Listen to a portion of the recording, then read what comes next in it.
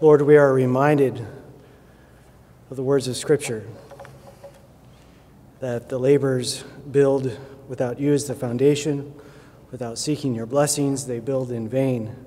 So, Lord, I do ask for your blessings upon us, upon our work, what we strive to do, what we hope to do. Lord, we offer it up to you, seeking that you would take what we do and perfect our efforts, that they might be of some benefit uh, to those whom we seek to care for. Uh, Lord, as people who seek your blessing, then I also ask for the gift of wisdom that we might know your will, so that we don't just simply ask for you to bless what, whatever we seek to do, but Lord, we would know what you are doing in the world. I'm also mindful on this occasion that if we are not dead, we are not done. And there's always something that you call us to do, something that you call us to enjoy in this world. And so we also pray for Sam. We are very thankful for his career, his work, and for this next stage of his life.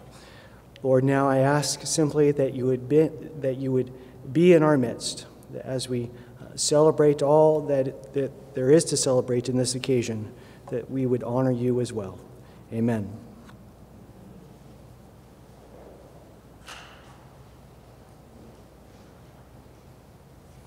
My pleasure to introduce our honored speaker today, Mr. Sam Deaver.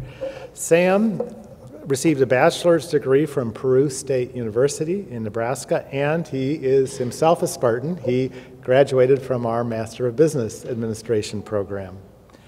Much of his work life was spent in the banking industry, and he served as chairman, president, and chief executive officer of Harvest Savings Bank. And I, what some might consider to be a second career started in 2002 when he joined the University of Dubuque as uh, teaching part of our teaching faculty. However, I think those of us who've had the opportunity to work with Sam know that it's not second in terms of his investment. That over the last 10 years, he, has he has invested in significant ways in this as his calling.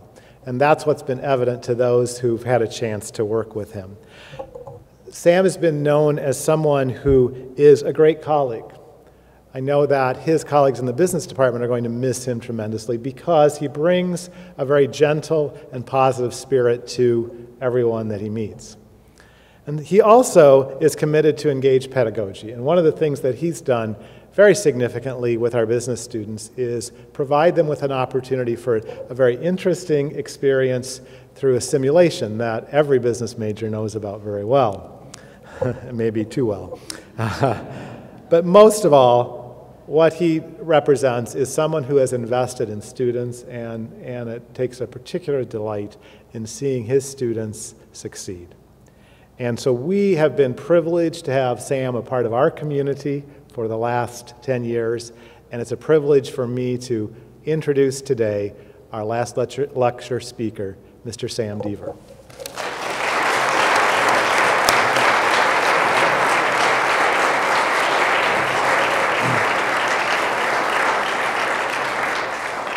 Well, thank you very much, Dr. Ward. I, I really uh, appreciate that uh, kind introduction.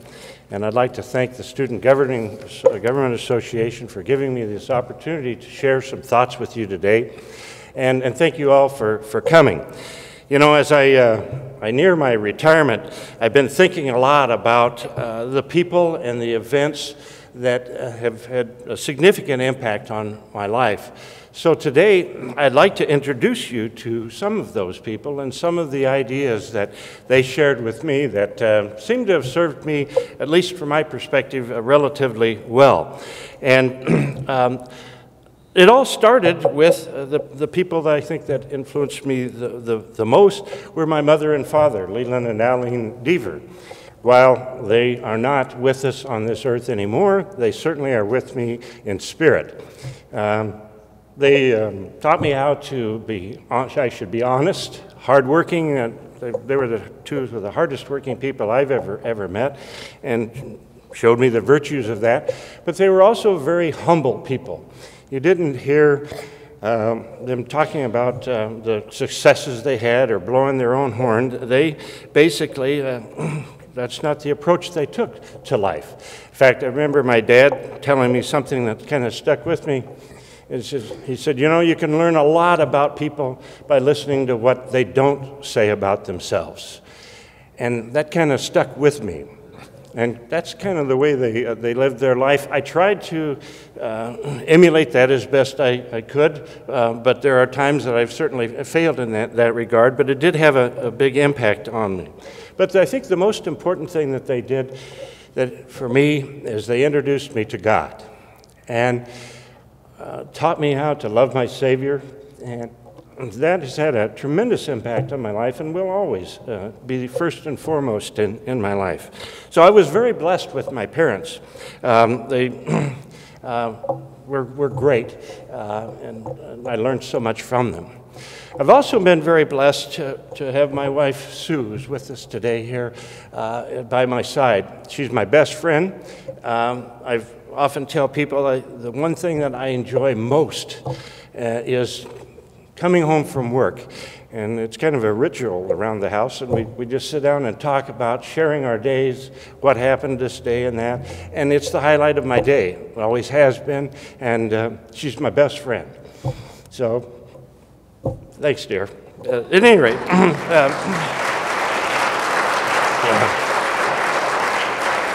yeah.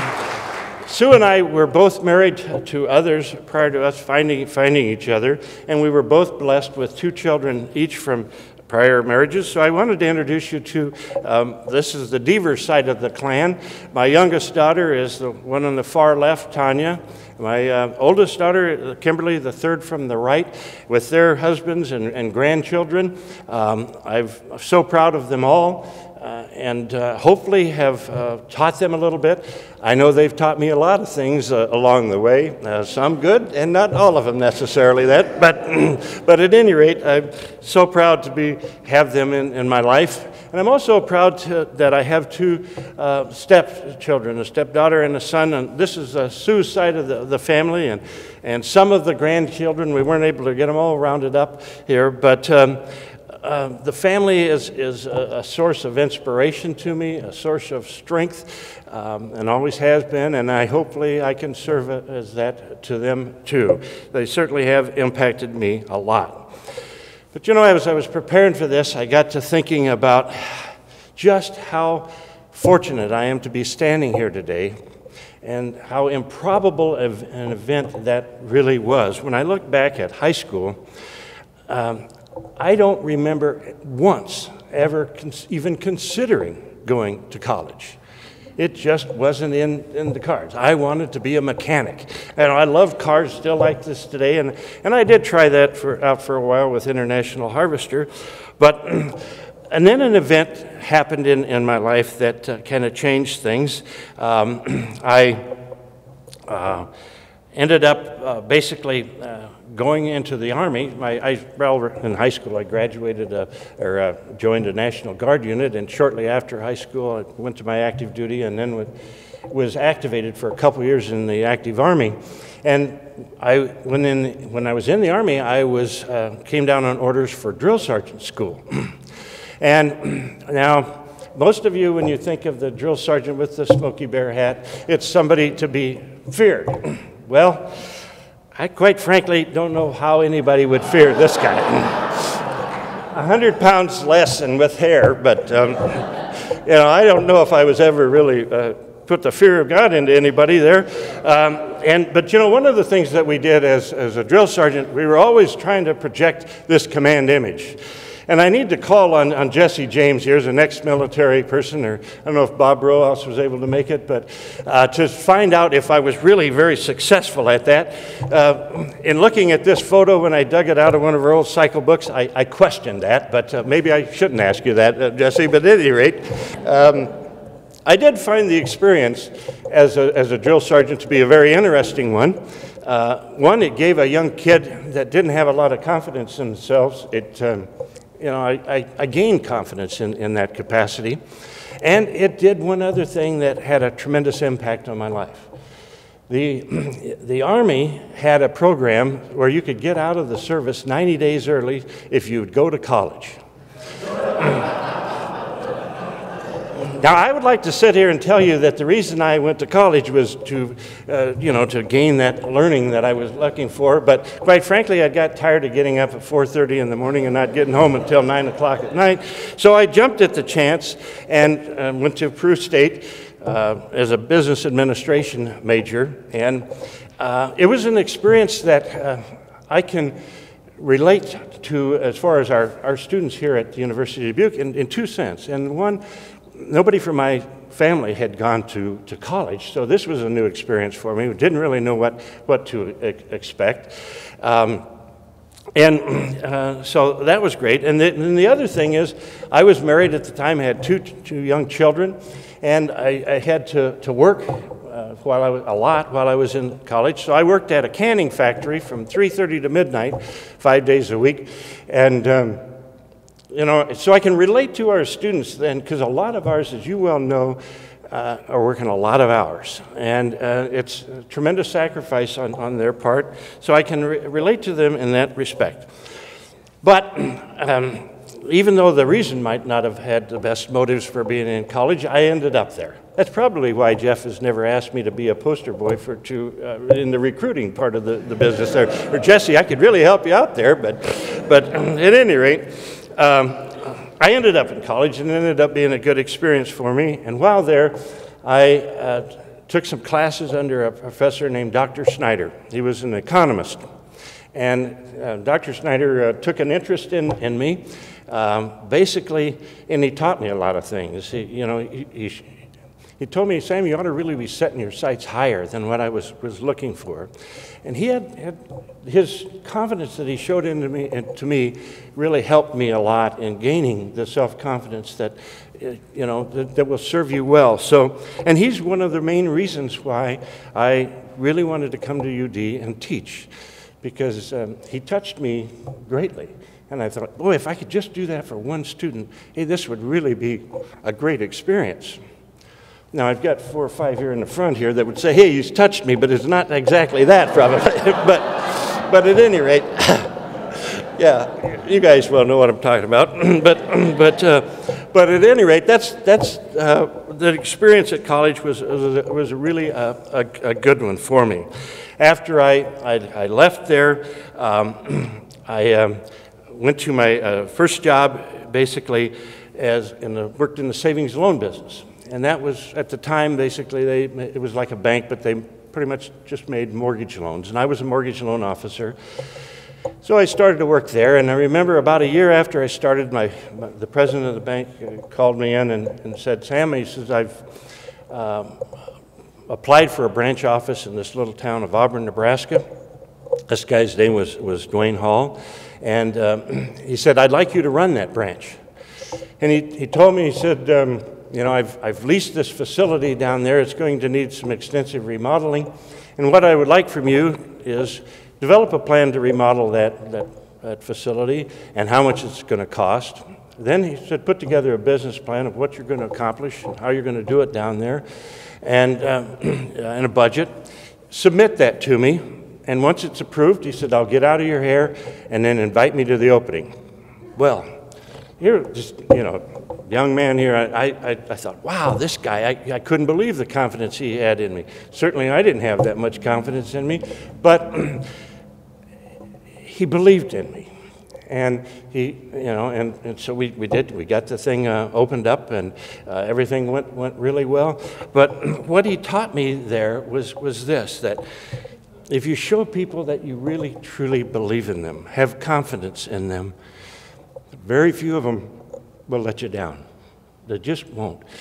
I would have walked on coals for this guy before I would have, have failed. And, you know, it, it, had a big impact on, on me and on the way I viewed my relationship with people that I, I work with. Um, and uh, I think it's, it's served me very well today. So I, I thank Dwayne for that, that uh, lesson early on in my career. I left there after, well, I opened another branch for him and then left after a couple years and joined a, a, uh, larger institution in, in, Des Moines, still as, as a branch manager. And I worked for a really great guy there by the name of Chuck Bird. Um, and uh, I remember I opened an office in, in Clinton, Iowa. It was a new office to, to to this uh, institution. They didn't have a branch there uh, at all. And I remember about a week after I started, I was sitting in the car with Chuck Bird out in front of this building that they were uh, remodeling for our branch. It wasn't completely finished. And Chuck basically said, Sam, he said, I'd like you to develop, um, tell me what your goals are for know, your career for the next year, five, ten, twenty years out, till you retire. What is it you want to accomplish? And he said, alongside that, I'd like to know what you want to accomplish in your personal life. And boy, this, you know, I thought, okay. And what I found was, and I, I, put that formal document together, and I still get it out to this day and, and take a look at it every once in a while. It, it's needed some updates and modifications along the way, but it served me really well. And, and basically, what it, it showed to me was that, hey, goals are a great way to motivate people, not only me, but others, because it does give them direction, does energize them. And so it was, it was a, a wonderful lesson that I learned early on about in dealing with, with, with people. And uh, myself, and, and as well as, as, as others. So that was a, a good lesson I, I learned from, from uh, uh, Chuck. Also, that um, in the car that day, after we talked about that, he said, There's one other thing I want from you. And he said, I would like you to, to lay out what it is that you want your reputation to be. What do you want to be known for? What do you want a legacy to be when you, when you do retire or whenever down, down the road? Uh, not just when you retire, but, but at any time throughout in your life. And I, I said, okay, Chuck, why are you really uh, asking about that. I don't quite understand. And basically said he felt that, hey, if, Sam, if you write that down, this is what you want to be known for. He said, then it's going to be your responsibility to leave your, lead your life to earn that. He said, reputations aren't given out you know, they're, they're basically earned. And Chuck really believed that character is the foundation that reputations are built on. And I remember the first time I was introduced to the, the, the Wendt initiative and the, the character building, immediately uh, this guy came to mind here because he believed that, and I think there's a lot to be said for that. It's, uh, um, it's, it's at least something that I've never forgot. Not that I have always lived up to the reputation I, I wanted to, but it certainly was a great guiding light, I guess, to, to, to follow as I went through uh, my life, though. And uh, did ho- hope, hopefully help me develop that character uh, just a little, little bit at any rate. And Chuck gave me one other lesson. I remember one day I was in uh, the headquarters office and went into his office, and I was complaining about something. I don't even remember what I was bitching about, but I was going on and on about something, and Chuck finally said, Sam, he says, I really appreciate you bringing this to my attention. But he said, What I don't appreciate is I haven't heard one word out of your mouth on how you're going to fix any of that. and, and I thought, you know, yeah, yeah, I, I found that to be kind of a profound experience. One, he put me in my place real, real quick, but he basically was telling me that, yeah, let's not spend our time bitching and complaining about things. Let's try, let's spend our time fixing problems. So uh, that was the lesson. Another one I learned from Chuck: don't complain unless you. Um, you have a solution to that. And I would imagine if, if you uh, talk to anybody that, especially in the banking industry that I, that I worked with, uh, they will tell you they heard that come from my lips a, a number of times. Um, but at any rate, I think it, it, um, it's a good way to look at things. At least it served me uh, very well. In fact, I'll talk to you in a few minutes about how it, it changed my life in, in some ways, at least career wise. so, at any rate, that was, I had a great boss there, and I learned a lot of things from him. And from that institution, I, I, came to Dubuque as a marketing director, back in the, in the savings and loan business uh, again here. And um, oh, two to three years after I joined this company, it got into severe financial difficulty. Uh, it was broke. Uh, not a good thing for a bank, you know. Um, they had negative net worth. Uh, they owed more than they own. and the only reason it wasn't closed up is that in the savings and loan business at that time in the early 80s, there were tremendous amount of problems, and the Federal Deposit Insurance didn't have enough money to deal with them. So we had some time, but I was worried about you know, my job, about the company. And, and so I thought about and started looking around for a different job. And somehow uh, one of our board of directors found that I was looking and basically told the president of the bank that, hey, I, I'd like you to set up a meeting so that uh, Deaver can come in here and tell us, I'd like to hear why he's leaving. So uh, you know, I thought, okay, uh, that sounds like an opportunity for me. I'd, I'd, go in there and really not expecting a lot. But then I got to thinking about what Chuck told me. Don't be complaining about something unless you've got um, a, a plan to fix it.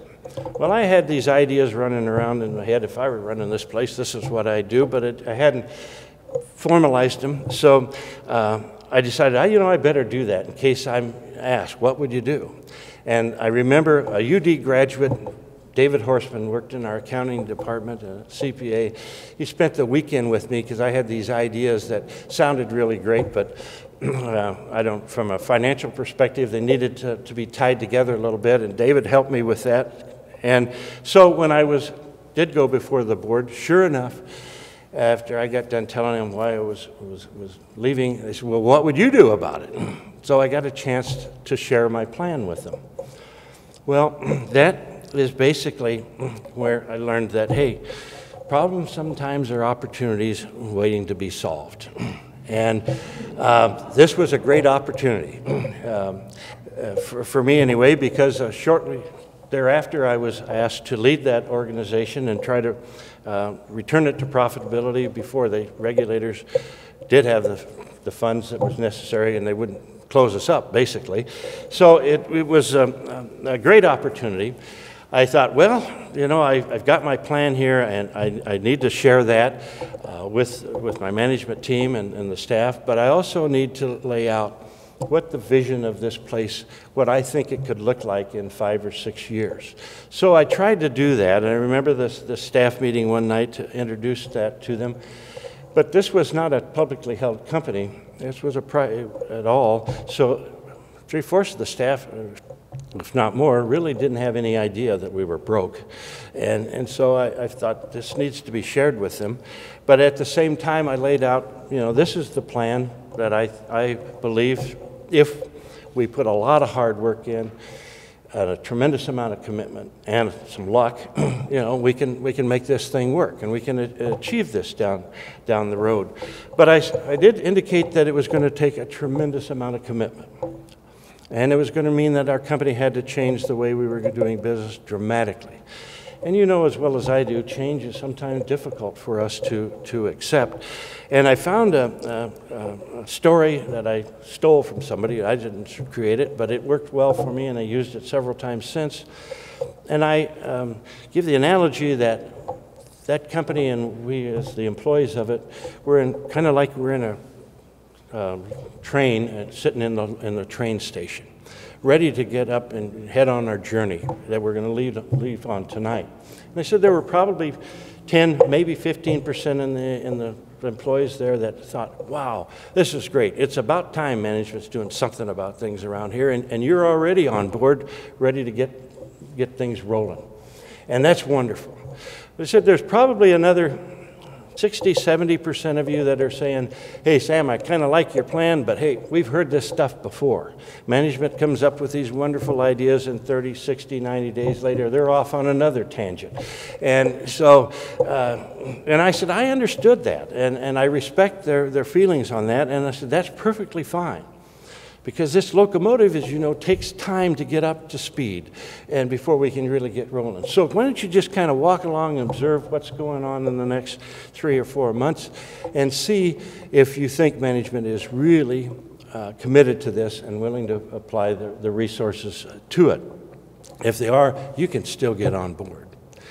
I said, but there's probably another 10 or 15 percent of you or so that are saying, hey, Sam, this isn't what I signed on for. I don't think I'm able to give you this commitment. Or for whatever reasons, and I, I understand that and I respect your, your decision. So why don't you take the next three to four months and look for an opportunity elsewhere if it's not here for you, and, and that will be in your best interest and everybody's. And so I, I uh, encourage you to do that. I give you my best wishes. That's fine. But I said, what isn't fine is, and it's not in anybody's best interest here, is we're going to start this train rolling tonight, and we're going to build up steam. And what you don't want to do is you don't want to get in front of the train. and uh, I used that, and I know my management team, a lot of them have used it in times of change, and I think why I like it so much, it, it gives people kind of an out, uh, and it's a lot to expect people to embrace radical change uh, quickly, but um, and it gives them a chance uh, to to see is is are their leaders really true to what they're they're saying. And boy, with this group, it was a commitment I couldn't, we got commitment that I couldn't hardly believe. They, not only did they turn this, this company around profitability wise, they made up for a good share of the net worth that was lost. We weren't broke anymore, at least. We were woefully undercapitalized. Regulators still weren't happy. But um, so we decided, well, we got to raise some capital quick because if we don't, they're going to they're going to um, uh, close us up here. So we decided to do an IPO, initial public offer, stock offering, and uh, to raise this capital. And part of the one aspect of that, uh, we decided to do what uh, buy a significant portion of the company's stock in this offering and put it in the form of an ESOP, an employee stock ownership plan. And the reason we wanted to do that was these were the people that saved this company, that brought it back from the brink. They were also the people that were going to create future wealth, and they should basically have an opportunity to share in it. So we hired an investment banker, and we set out on this uh, uh, intense six month journey to sell this stock. Well, it was the world's worst time to, to do a stock offering. The savings loan business was every day where it seemed like we were in the headlines because the, stock, the taxpayers may have to bail this thing out. The losses were so bad. We had a bunch of crooks in the industry, quite frankly, as, as it was deregulated that entered it. It was not an easy sell. We had hired investment bankers, uh, and those Wall Street types did a great job of taking our money and sold no stock. Hardly any. the people that sold the stock were the employees of the bank who spent their nights and weekends out selling their message to anybody and everybody that would, would listen to them. And by gosh, they, we, we created or completed that stock offering. And I remember at the time thinking back of where we'd been and where we were at, and that I was amazed at the commitment that uh, people had towards this end. And what they showed me through their, their actions was that if you really want enduring commitment, like these folks had exhibited over a number of years, it requires you to be very passionate about what you do. When I advise my students here at the University of Dubuque, I say the most important thing, I, advice I can give to you is find what you're passionate about. That's what a lot of the undergraduate experience should be about.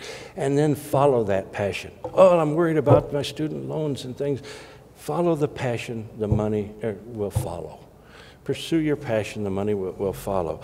And these folks that I had the privilege of, of working alongside of and observing, boy, were, were they passionate about what, what they, they did. We did, we completed the offering, the company did very well. He went on and continued to, to generate uh, good returns for our stockholders. In fact, to, to the point that our board of directors were presented an offer to purchase the company for, we initially uh, had uh, sold the stock at $10 a share, and when you account for stock splits and things of that nature, five years later we had received an article, uh, an offer to, to buy us for a few cents under $100 a share. Ten, about 10 times what, what uh, they uh, were initially sold for. And our board of directors, quite frankly, didn't feel they could, could turn it down and still fulfill their fiduciary responsibilities to the stockholders. So we did sell the company. But one of the things that was in this um, ESOP when we created it was a kicker that if the company is ever sold, all of the stock that hasn't been distributed to the employees would be immediately distributed. So between the ESOP and we a lot of our folks had, had, stock options, and about all of them had bought some stock, even if it wasn't for a few shares. it was a, a, financial boon to all of us, like none of us have really uh, experienced since, probably, and, and, and may not uh, again. But, um, and it brings me kind of, if, if, if I could get on my high horse a little bit here. Last week, CNN reported that of the S&P 500 companies, the largest uh, uh, publicly traded companies. In 1980, the CEOs were basically paid 42 times what the average their employees were paid. Today, they're paid 354 times what the average is. The good news is that in 2000, that was at, peaked at 525 times. But we are the only country in the world that I know of that pays its CEOs anything like that multiple of what the average earner is making. And I would suggest that the boards of directors of some of these large publicly held companies and the CEOs could learn a lot from the people that I was fortunate to work with in, in, in the fact that, hey, you can generate a lot more value for your share shareholders if you would just basically uh, be more willing to share the wealth with those who created it. and anyway, that's I, something I've, I've often felt very strongly about because I got to observe what these folks did. It was just, you know, remarkable to me, at any rate. uh, but um, enough about the, the, the banking thing. Uh, uh, when after, after the bank was sold, I, I, didn't stick around too long and eventually made my way here to uh, the University of, of Dubuque and was given this opportunity, which I have found to be tremendously challenging. Uh, as challenging as anything I've ever faced, but also one that uh, is very, very, very rewarding, at least uh, to me, and I, I, know to those that, that work here. I think you share that, that uh, the feeling about it. And, I, and I, what I, I found here also that the students here at University of Dubuque aren't really much different than the people that I worked with in, in banking, with maybe one exception. In banking, we got an opportunity to hire who we wanted to work with. Then it was our responsibilities as managers and leaders to use the resources that we had at our disposal to help them develop to their full potential. Here at University of Dubuque, the students choose, choose us. That's a different dynamic. And when you couple that with the mission that we're on here and reaching out to students that maybe wouldn't have normally gone to school, that creates some unbelievable challenges for the, the teachers, the administrators, and the, the staff here. How do you bring those students that aren't as well prepared as we would like, how do you bring them along so they can develop their learning and, their, uh, and, and graduate? How can you do that at the same time as you have your students who are well prepared for the experience? How do you keep them challenged and bring, keep them in the, in the game? Well, I found that to be unbelievably challenging. And I don't have the answer to that. You know, that's why I'm retiring now, I guess. I don't know. But I do know this. I do feel very strongly about this. 11 years ago, when I, I came here, you know, we were on that same mission, and we're doing it a lot better today than we were then. And while we've got a ways to go, um, you know, it, it, uh, we've, we've made a lot of progress. I liken it to the total quality revolution that business went through in the 80s and continues to this day, where continuous improvement is the norm. And that's the way it is, as you well know, here at, here at University of Dubuque. Not only for our students, but for us as, as faculty members uh, as, as well. And that's what I guess I like so much about this position here, is every semester I get a chance to modify how I approach things, the materials I, I, I use, uh, the way I teach uh, in, that, in a, an attempt to continually try to improve. Some of the things work better, some of them don't. But you, are always trying to do that. And that's what I appreciate about this job more than, than anything else.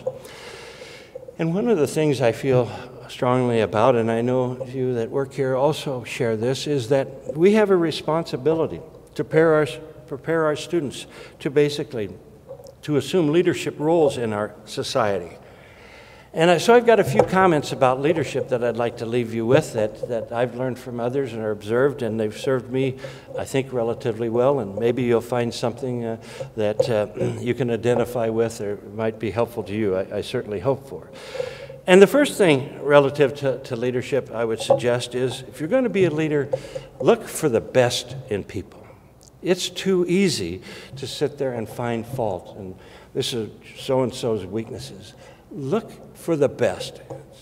Spend time to get to know your people well enough to you know what their great qualities are.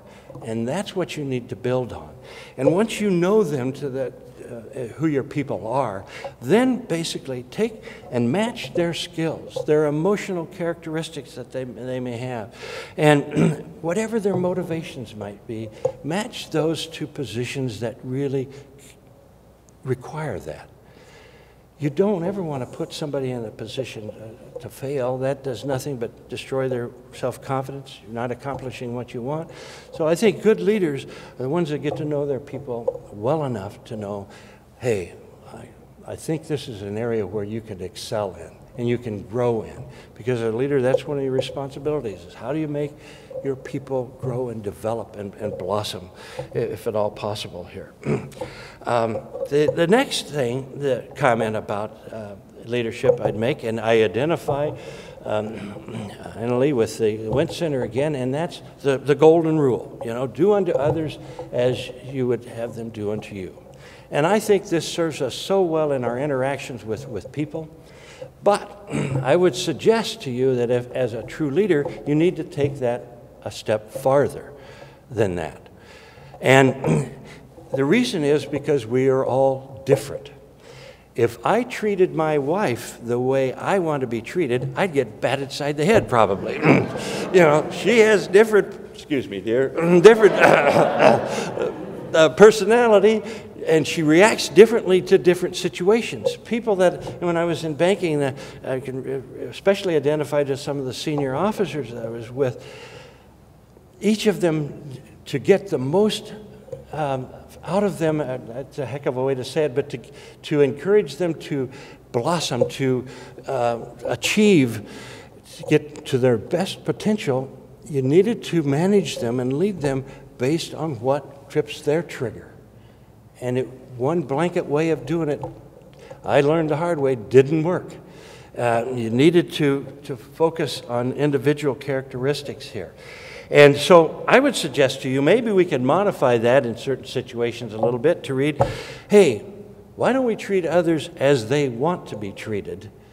Might serve us better in, I think, in, in some respects, at least in some situ, excuse me, some situations, because people are different and they want to be treated differently. And we need to find that what it is that they want. Whether it's our family, whether it's our business associates, I still think it makes a lot of sense and can serve, uh, serve us well. It, it certainly uh, did me at, at, any rate here. Um, the other comment I'd like to make about leadership, I think this picture says an awful lot. what it tells me at, at, any rate is, you know, if you're going to be a, a leader and you want people to follow you, they have to trust you. Because if they don't trust you, they're going to spend their time watching their back. They're going to have to do it themselves because you're not looking out for their best interest. So you need to trust your leaders to, to always do that for you because if you're not, you're not spending your time as, as you hoped you, you could. And in today's world where things are changing at Mach speed, creativity is extremely important. How can you be creative if you're watching your back? To me, that's tough. How can we uh, achieve the mission here, successfully achieve it here at the University of Dubuque, of bringing those that folks that aren't maybe as well prepared as we would like them to be into college? How do we successfully get them through graduation? Uh, how do how do can we do that uh, in you know, here, and, and I, I, without being very creative. The same old way of doing things, just as you all know, doesn't work. And we've made a lot of progress in that because we've been very creative and been open to trying new things, putting our resources behind it. And so I think um, creativity is, is something that uh, tremendous loss if we don't trust those who are our, our leaders. So I think that's, that's very important. But trust in and of itself, I don't think, um, is the total picture.